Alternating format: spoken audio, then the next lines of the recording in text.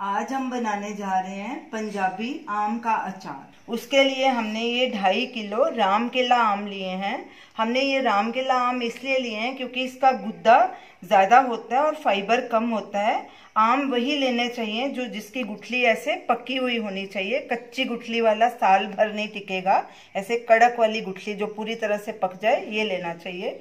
तो हमने ये ढाई किलो आम कटवा लिए इनके पीसेस आप अपनी मर्ज़ी से कटवा सकते हैं। हमने ऐसे कटवाए हैं।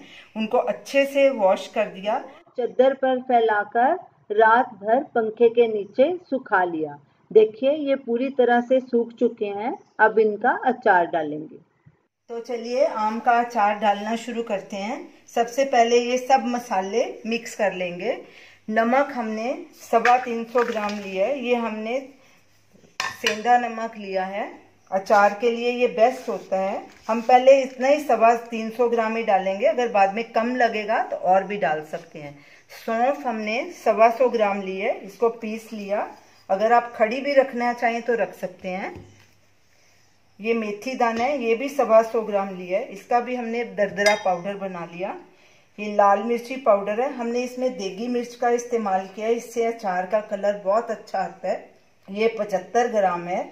तो अगर आप दूसरी तीखी मिर्च डाल रहे हैं तो वो पचास ग्राम ही डालिए, क्योंकि ये कम तीखी होती है, इसीलिए हम पचहत्तर ग्राम डाल रहे हैं। ये हल्दी पचास ग्राम, कलौजी तीस ग्राम। अब इन सब मसालों को अच्छे से मिक्स कर लेंगे।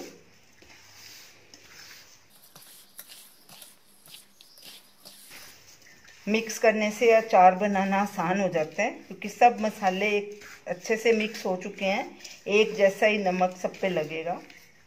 सब मसाले अच्छे से मिक्स हो गए। इसमें हमने टोटल ढाई किलो में आधा लीटर तेल डालना है, लेकिन पहले हम थोड़ा सा डालेंगे ताकि इसकी पेस्ट बन जाए। ये हमने सरसों का ऑयल लिया है। इसको भी अच्छे से मिक्स कर लेंगे।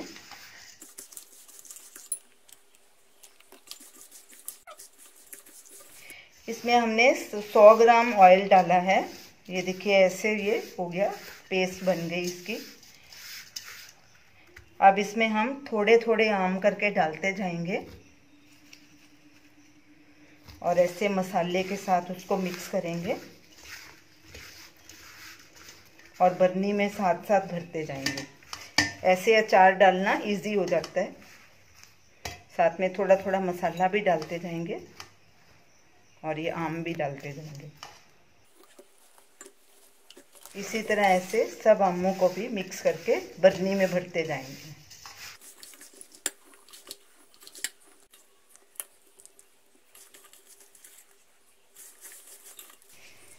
ये हमने एक बर्नी भर ली है।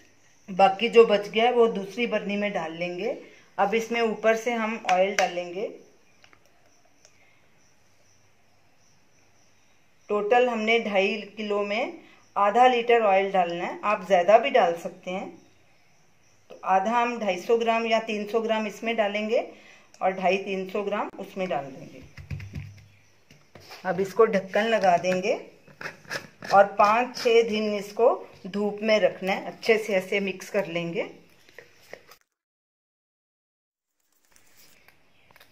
और इसको पाँच छः दिन के लिए धूप में रखेंगे और सुबह शाम इसको ऐसे हिलाना है पूरी बर्नी को, अचार भी पूरा मिक्स हो जाए ताकि अच्छे से। इसमें अचार बनाते वक्त सिर्फ़ इस बात का ध्यान रखना है कि इसमें नमक और मसाले सब बराबर क्वांटिटी में होने चाहिए तो ही आपका अचार अच्छे पूरा साल भर टिकेगा। और आम भी अच्छी क्वालिटी के लेने चाहिए। उसमें गीला बिल्कुल भी पानी का एक छिट्टा भी नहीं पड़ना चाहिए। जो बर्नी आप इस्तेमाल कर रहे हैं वो बिल्कुल सूखी होनी चाहिए और एयर टाइट होनी चाहिए। तो अब इसको हम धूप में रखेंगे। पाँच छः दिन बाद हमारा अचार खाने लायक हो जाएगा। तो ये देखिए हमारा पिछले साल का अचार बच्चा है। बिल्कुल बराबर है। ना ये नरम पड़ा है, ना इसका मसाले में कोई फ़र्क पड़ा है। तो आप ऐसे ही, इसी तरीके से अचार बनाइए। तो आपका भी ये अचार साल भर टिकेगा। तो ये रही हमारी आज की रेसिपी आम का अचार, आप इसे ज़रूर ट्राई कीजिए और हमें अपना फीडबैक दीजिए और हमें बताइए कि आपको ये हमारी रेसिपी कैसी लगी। हमारे वीडियो को शेयर कीजिए, हमारे चैनल को सब्सक्राइब कीजिए। Thanks for watching